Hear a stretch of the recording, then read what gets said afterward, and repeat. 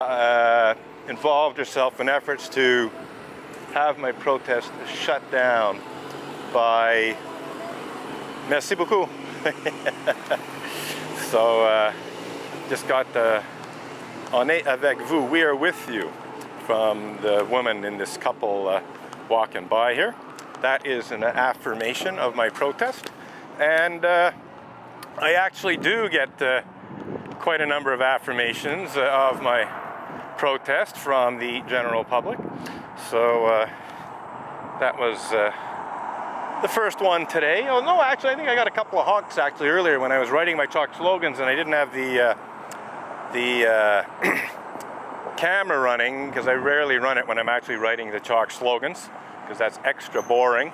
Um, yeah, there was at least uh, one clearly affirmative honk. You know, it wasn't a traffic honk. You know, I can distinguish between those honks that are for traffic purposes and those which are, you know, quite obviously intended to uh, express approval for my protest.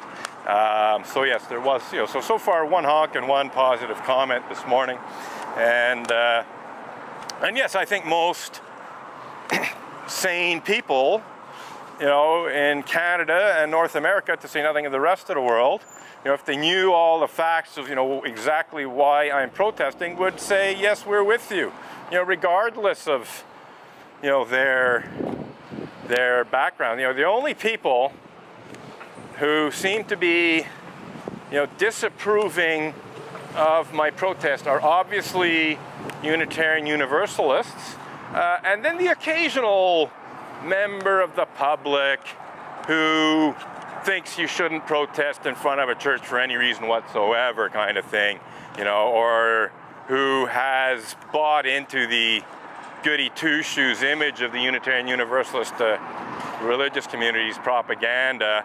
Um, and you know believes that Unitarian Universalists can do no wrong, you know, and that therefore nobody should be protesting against you know anything done by Unitarian Universalists. Um, so that's really the only two kinds of people who express disapproval for my protest. Well, maybe three kinds of people, but uh, but nonetheless, you know, primarily Montreal Unitarians, obviously, and other Unitarian Universalists who visit the Unitarian Church of Montreal express disapproval for my protest, sometimes stealing my picket signs, sometimes physically assaulting me, uh, certainly insulting me here and there, um, and so on, and sometimes not even, you know, any of that. Like, like, uh, you know, once just a couple of weeks ago, a guy came out of the church and he simply said, you know I can't agree with you, or something like that. You know, so just a kind of a you know, dismissive response, but not insulting me, just, just, uh, just saying, oh, you know I can't agree with you. So uh, because uh, part of what I'm protesting against actually is abusive and insulting uh, behavior by Unitarian Universalists, including Unitarian Universalist clergy, such as Reverend Dr. Victoria Weinstein and uh, uh, Reverend, uh, what's her name, Kane, Cynthia Kane, um, and various other rather offensive and rude uh, um, Unitarian Universalists, I, uh, I actually responded to his uh, willful ignorance and psychological denial by telling him he had his head up his ass because the Unitarian Universalist Association has expressly approved, or, or at least tacitly approved, uh, Reverend Dr. Victoria Weinstein's use of the term asshat to describe a Republican state senator.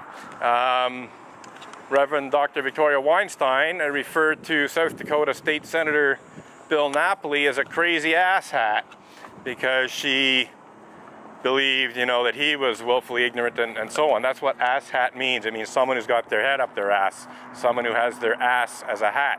Um, and uh, so this behavior by Reverend Dr. Victoria Weinstein was all but officially approved by the Unitarian Universalist Association.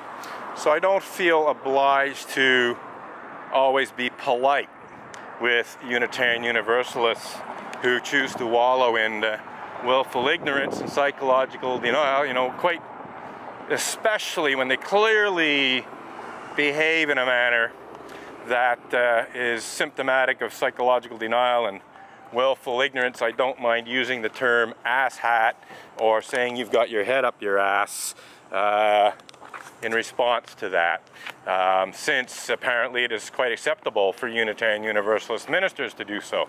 If Unitarian Universalist ministers can say you've got your head up your ass, you're a crazy ass hat, well then I guess everyone else can, can't they? That's what's called equity. I believe the second, second principle of Unitarian Universalism is justice, equity, and compassion in human relations. And equity means fairness. In fact, more specifically, it means equal treatment.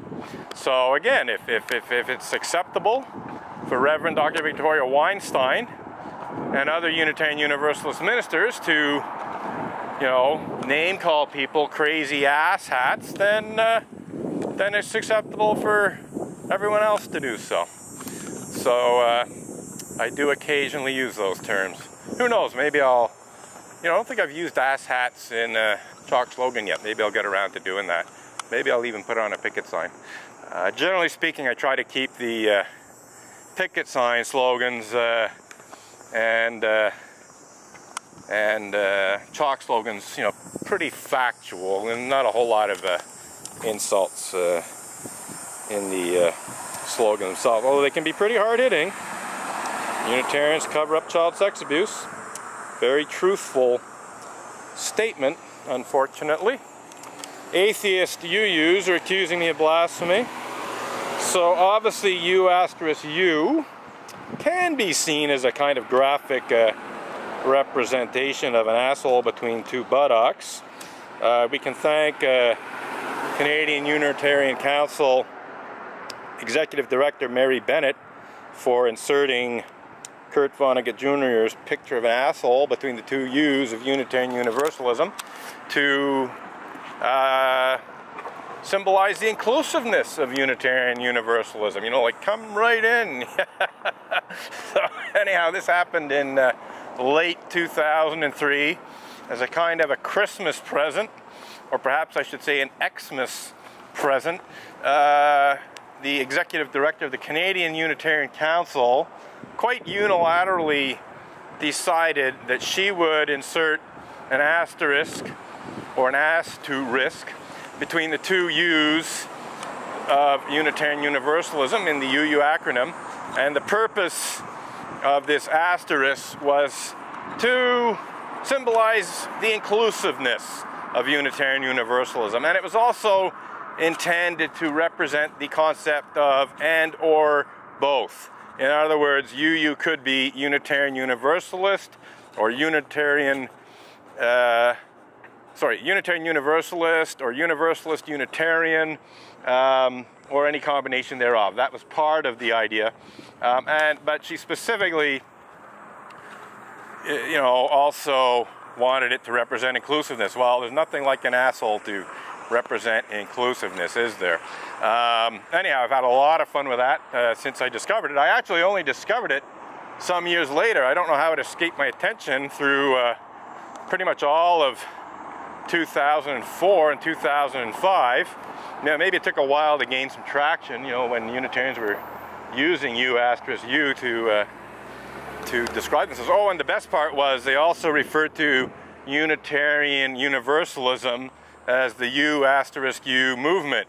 So the ass movement, or you could just extend that to the bowel movement, as it were. Um, so that was quite funny too. Um, so I had a lot of fun mocking the Unitarian Universalists for this uh, for this use of Kurt Vonnegut Jr.'s picture of an asshole. Maybe they should have accused me of uh, blasphemous libel for this mocking of their acronym. You know, it would have had probably a better chance of gaining a conviction than uh, accusing me of blasphemous libel for blogging about their pedophiles and rapists. Um, in fact, the only circumstance under which I could be guilty of blasphemous libel for blogging about Unitarian Universalist pedophiles and rapists is if uh, such despicable crimes as pedophilia and rape are considered to be uh, sacred and holy to Unitarian Universalism. I don't think they thought that legal bullying through very much uh, before engaging in it. So again, had a bit of fun with that. You know, I I knew this very early on. I knew that uh, that essentially, in accusing me of blasphemous libel for blog posts that speak somewhat critically of Unitarian Universalist uh, pedophiles and rapists, um, that uh, it, it, essentially implied, you know, logically, that uh, you know such despicable crimes as pedophilia and rape are held to be sacred and holy to Unitarian Universalism at least when they are committed by certain Unitarian Universalist ministers. So, as I said, I knew this quite early on after being served, uh, but I, I think more than a year later, maybe even as much as two years later, finally got around to asking that question of uh, Maitre Marc-Andre Coulombe, the UUA's Canadian attorney, and uh, needless to say, asked the same question to top level UUA leadership.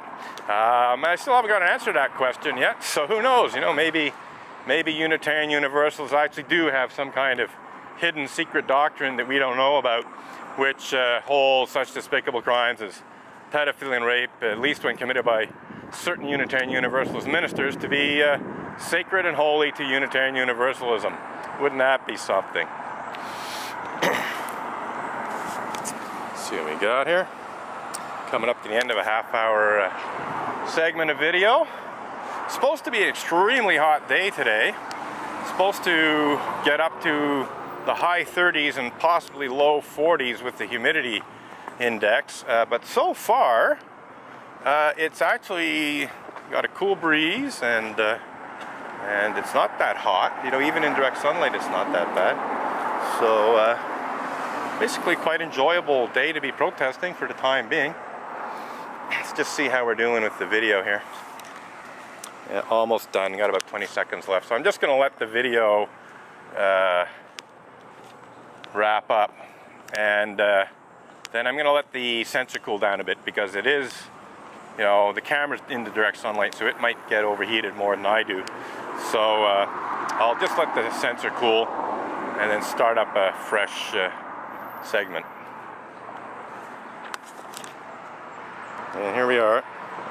It's just uh,